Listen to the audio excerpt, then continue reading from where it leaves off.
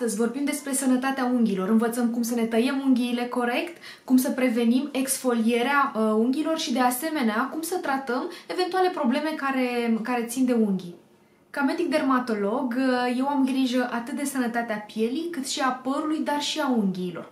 Din păcate, foarte multe uh, paciente se prezintă cu unghii foarte moi, foarte friabile, care se exfoliază și astăzi vreau să vă învăț cum să prevenim și cum să tratăm uh, acest lucru. De asemenea, vreau să vă ofer câteva uh, tips and tricks-uri, uh, să spunem, legate de îngrijirea unghiilor acasă. Întrebările voastre de pe Instagram au cuprins uh, întrebări legate de uh, fragilitatea unghială. Tot mai multe persoane uh, de sex feminin se plâng de problema asta și studiile arată foarte clar că femeile au unghii mult mai fragile decât bărbații. Practic, punțile între celule sunt mult mai slabe, de aceea rezistența unghială este mai mică la femei comparativ cu bărbații, iar vestea proastă este că cu cât înaintăm în vârstă, cu atât uh, tindem să avem unghii din ce în ce mai moi și mai friabile. Unghiile conțin uh, aproximativ 5% lipide și un conținut destul de bogat în apă, însă în perioada de după menopauză e, uh, ele își pierd conținutul în uh, grăsimi și în apă, devin foarte deshidratate. Ok, să presupunem că nu suntem totuși la menopauză și avem problema asta cu unghiile. Cauzele uh, pot fi numeroase, însă Culmea este că cel mai frecvent nu există o cauză uh, pe care să o putem identifica ușor. Pur și simplu observăm că unghiile noastre sunt mai fragile. 20% din femeile adulte se plâng de problema asta. Cu toate astea, există și afecțiuni atât locale ale unghiei, uh, dar și sistemice, care pot indica uh, afecțiuni ale glandei tiroide, boli cardiovasculare sau deficiențe nutriționale. Dacă vorbim despre probleme care să afecteze strict unghia, în primul și în primul rând vorbim despre despre um, bolile inflamatorii. Și aici aș vrea să menționez psoriazisul, poate sunt uh, printre urmăritorii mei pacienți care au psoriazis și mai ales psoriazis la nivelul unghiilor.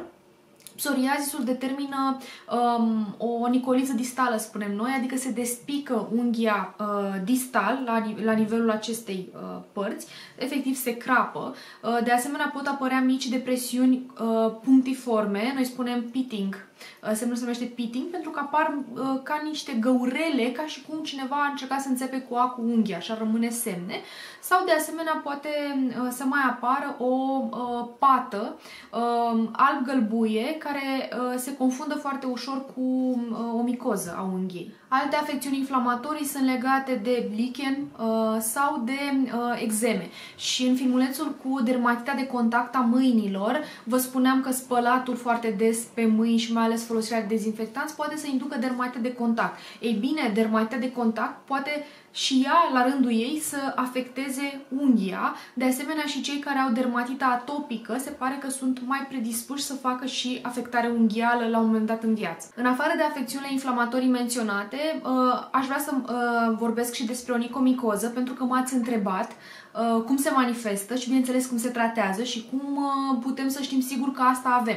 În principiu, la capătul distal, dinspre exterior al unghiei, observăm că uh, unghia poate să se crape, să aibă uh, depozite hiperkeratozice subunghiale, deci efectiv simțiți că curățați uh, depozite uh, de sub unghie și aceste depozite chiar pot să inducă o detașare uh, a lamei unghiale de pe, de pe patul unghiei. Este o unghie care nu mai are luciu, este destul de opacă. Diagnosticul se pune uh, pe baza examenelor de laborator, se face un examen uh, micologic microscopic direct și de regulă rezultatul ne vine foarte repede și astfel știm dacă este într-adevăr o infecție fungică uh, la acel nivel. Tratamentul vizează preparate de tip lac de unghii care se poate aplica local, topic. Condiția este ca unghia să fie subțire, deci trebuie pregătită acasă, trebuie pilită unghia așa cum trebuie astfel încât lacul să penetreze iar dacă mm, sunt mai mult de 3 unghi afectate, uh, noi medicii dermatologi prescriem uh, tratament antifungic oral. Cu toate astea există și boli ale organelor interne care uh, să dea manifestări unghiale și aș vrea să vorbesc în primul rând despre hipotiroidie. 90% din pacienții care au afecțiuni tiroidiene de tipul hipotiroidiei vor dezvolta și afecțiuni unghiale. Cel mai uh, probabil vorbim despre această unghie care e deshidratată, care e moale, care e fiabilă, care se rupe foarte ușor. Mai sunt și pacienți pacienții care au uh, probleme cardiovasculare de tip arteriopatie periferică. În acest caz, sângele sau circulația este mai slabă, sângele nu mai circulă uh, optim la nivelul periferiei și aici vorbesc de unghii la picioare în mod, mod evident. Uh, și atunci, nemai, exista, nemai existând acest flux, unghiile nu se mai hrănesc cum trebuie și pot uh, să se deformeze. Traumatismele și ele contribuie semnificativ la deteriorarea patului unghial. Mă refer aici uh, inclusiv la microtraumatisme, persoanele care prin natura meseriei poartă, nu știu, încălțăminte, că vorbim și de unghiile la picioare, nu? Uh, încălțăminte foarte uh, strâmtă. Uh, persoanele care uh, lucrează în industria acestea, aceasta a beauty-ului, da? cele care sunt hairstyliști sau care fac uh, manicură, sunt predispuse la microtraumatisme repetate, chiar și cu substanțe de natură chimică. Expunerea aceasta profesională la, la solvenți, la diluanți, poate să deterioreze lipidele și astfel se rupe punta intercelulară între uh, celulele unghii care tind să se detașeze, să se exfolieze. Aș include în această categorie personalul sanitar care trebuie să se spele de foarte multe ori pe mâini, să-și dezinfecteze mâinile. Să știți că umezirea asta și uscarea uh, rapidă a unghiilor induce pierderea apei și atunci uh, deshidratare. Există trei tipuri de modificări ale unghiilor. Intrăm un pic în niște denumiri uh, medicale, dar trecem foarte repede, le trecem foarte repede în revistă. Vorbim despre onicorexis, care este foarte frecvent în rândul femeilor adulte se caracterizează printr-o despicătură longitudinală și sunt brazde, cred că o să puteți vedea și în imagine imediat atașat, sunt brazde longitudinale, paralele, care se desfășoară pe toată suprafața unghiei, în, în stratul superficial. Vorbim apoi despre onicoschizia lamelară, care este probabil cea mai frecventă modificare patul unghial se exfoliază în straturi orizontale fine. Ei, efectiv, în acest caz, către partea distală, deci către partea aceasta a unghiei, uh, apar bucăți transversale pe care le uh, putem desprinde foarte ușor. Apare exclusiv problema asta la persoanele care uh, au o deshidratare. Ba se spală foarte des pe mâini și uite cum suntem în perioada asta de izolare, cam asta facem. Ba stau cu unghiile foarte mult în apă, persoane care spală foarte mult de mână. Ne gândim iarăși la anumite profesii depresii. Uh, duritatea unghiei, vreau să știți că se datorează, în primul rând, uh, aminoacizilor de tipul cisteinei și, bineînțeles, conținut, conținutului bogat în keratină. Iar uh, aderența între celule este facilitată de ceramide. Despre ceramide am mai vorbit. Așa că dacă vreți să Vă mai uitați și la celelalte videoclipuri, luați-l pe acelea cu ingredientele produselor cosmetice, că acolo am dat mai multe explicații legate de uh, ceramide și importanța lor pentru pielea noastră. Granularea superficială a keratinei este o modificare care arată ca o micoză superficială. Uh, sunt mici pete alb-gălbui la nivelul unghiei, Uh, și multe dintre voi mă întrebați dacă petele albe, în general, la nivelul unghiei, înseamnă ceva și vreau să vă liniștesc, să vă spun că, în general, uh, petele albe pe unghie, noi ne lumim leuconichie, nu prea înseamnă nimic, de ce mai multe ori apare idiopatic la orice femeie sau, mă rog, și la bărbat, dar pe noi ne deranjează mai tare și trec odată cu creșterea unghiei. Apropo de creșterea unghiei, trebuie să aveți răbdare în general pentru că unghiile de la mâini cresc undeva între 6, maxim 9 luni, iar cele de la picioare un an și când mă refer la un an, adică cresc complet. Așa ele pot crește 2-3 mm pe lună, în mod normal. Ei, în această formă de degranulare uh, superficială a keratinei, keratina, care este proteină uh, pe care noi o știm că e, boga, e destul de uh, concentrată, să spunem, la nivelul părului și a unghiilor, în momentul în care uh, este supusă unor tratamente de ordin chimic, adică, de exemplu, dacă folosim foarte des uh, lacuri de unghii, da? și imediat cum am dat un strat jos, am aplicat aplicat altul, puteți să vedeți că apar efectiv modificări uh, de tip pete. Pete și chiar uneori și mici, uh, mici striații. M-a prins lumina să mă vedeți un pic mai bine. Vreau să continuăm cu sfaturi pentru îngrijirea unghiilor, uh, cum să prevenim exfolierea și în cazul în care a apărut ce e de făcut. În primul și în primul rând, pentru sănătatea unghiilor, eu recomand să le tăiați scurt. Uh, știu că poate nu vă place să auziți asta, mai ales că um, industria asta a cosmeticii unghiale este foarte dezvoltată, însă este foarte important să vă gândiți în primul rând la sănătate. Dacă voi vă țineți unghiile lungi, vreau să știți că riscul de deshidratare este mult mai mare și ar mai fi o problemă cu unghiile lungi. Este foarte greu să cureți corect în zona subunghială.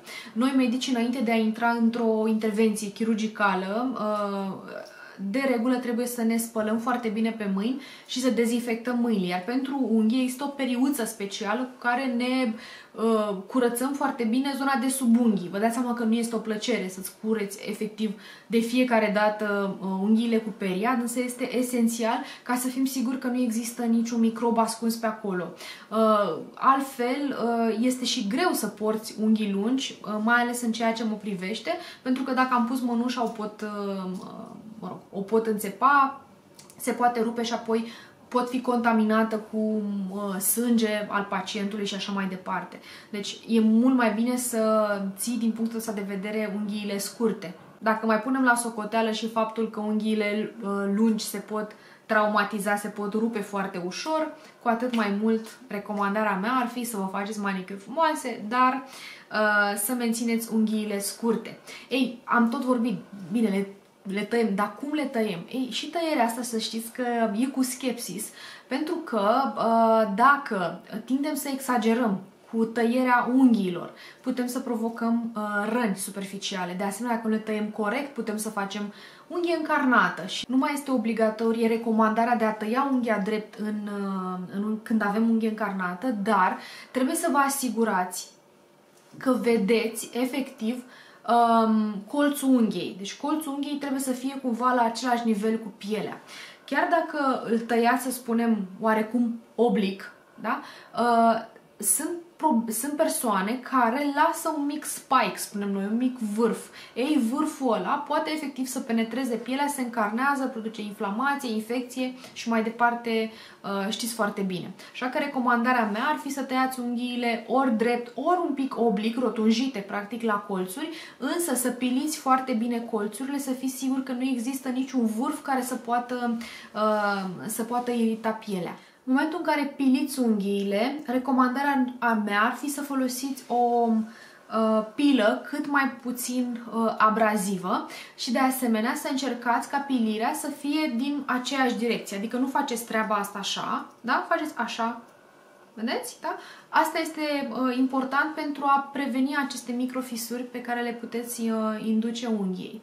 Uh, nu tăiați niciodată, niciodată cuticulele. Uh, eu v-aș sfătui nici măcar să nu le împingeți. Plecăm de la premisa că folosiți propriile instrumente da, și că nu există acest risc de contaminare, cum există în cadrul, sigur, saloanelor de manicură, unde sunt foarte mulți, uh, uh, sunt foarte mulți clienți și sigur că metodele de sterilizare trebuie să fie optime. Ei, lăsând la o parte această problemă, să presupunem că vă folosiți, că folosiți propriile instrumente. Chiar și așa, Tăierea determină puncte de intrare pentru microorganisme. Uneori se poate traumatiza chiar matricea. Matricea este acea parte proximală, de unde crește unghia.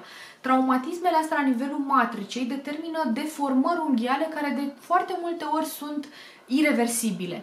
Probabil că uh, sunt printre voi persoane care au, uh, nu știu, scăpat ceva pe unghia de la picior, o greutate foarte mare uh, și au observat că unghia n-a mai crescut niciodată la fel. Așa că recomandarea ar fi sigur să evitați orice ar putea produce traumatism. Așa că lăsați cuticulele în pace. Dacă totuși există niște cuticule, nu știu, foarte groase, cred că cea mai, bine, cea mai bună variantă ar fi să încercați să le emoliați și să le tratați cu diverse creme uh, și soluții care să determine o netezire a pielii. De exemplu, puteți aplica uh, atât pentru cuticule, dar și pentru pielea îngroșată din jurul unghiei, uh, substanțe cheratolitice, cum este acidul salicidic sau cum este urea. Urea în concentrație mare este decapantă.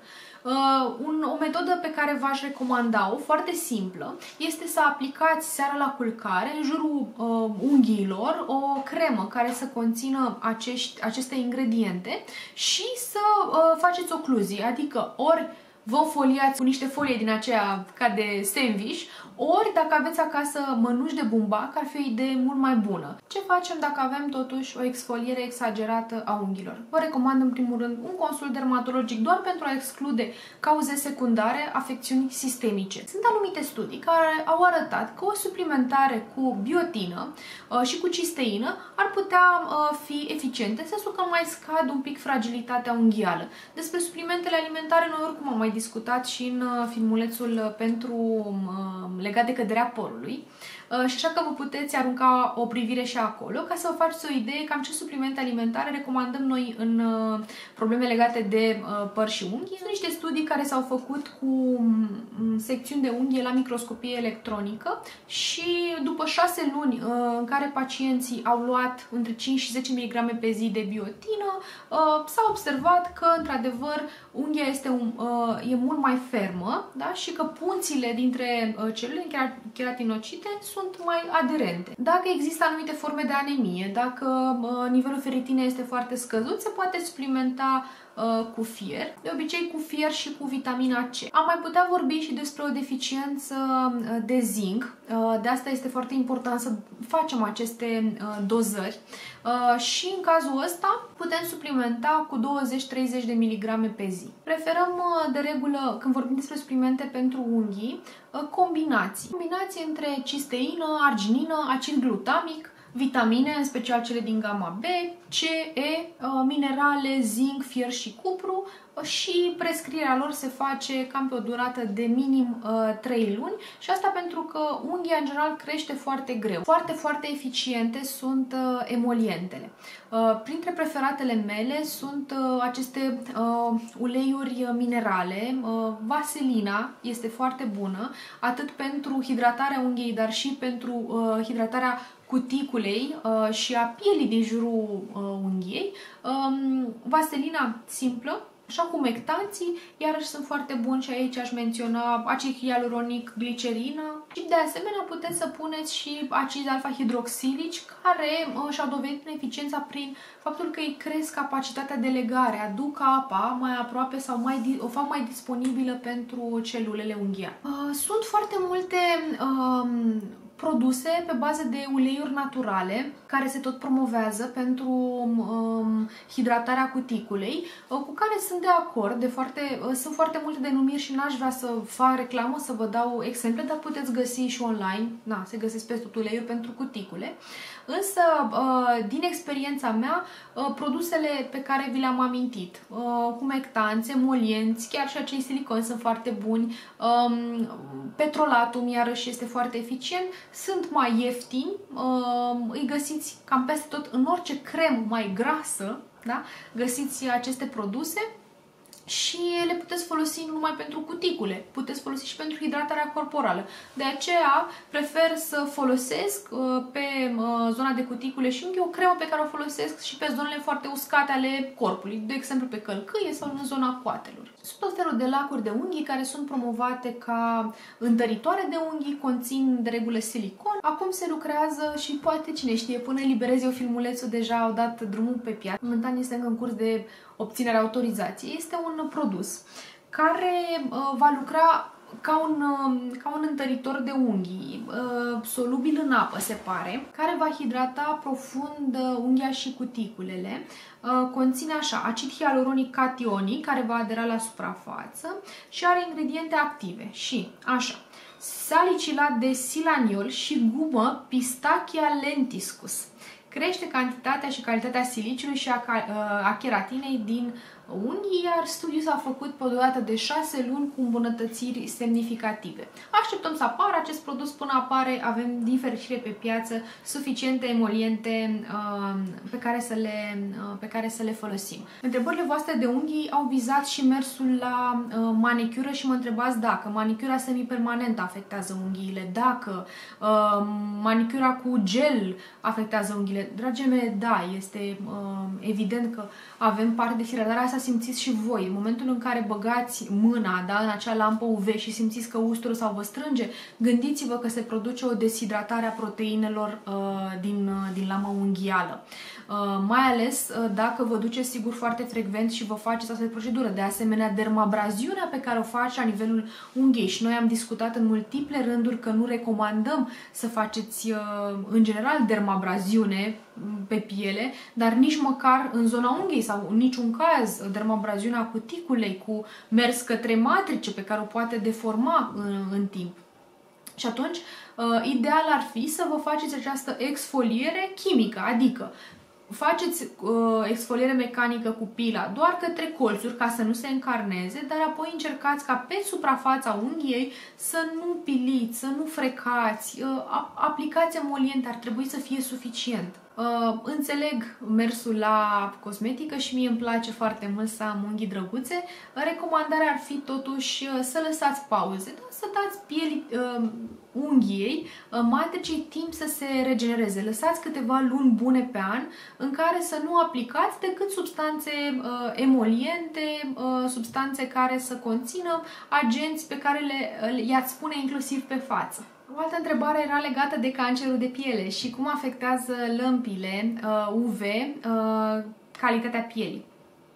Ei bine, uh, sunt anumite studii care au demonstrat faptul că expunerea cumulativă uh, la aceste surse de radiații ultraviolete pot induce cancerul de piele, în special cel non-melanocitar.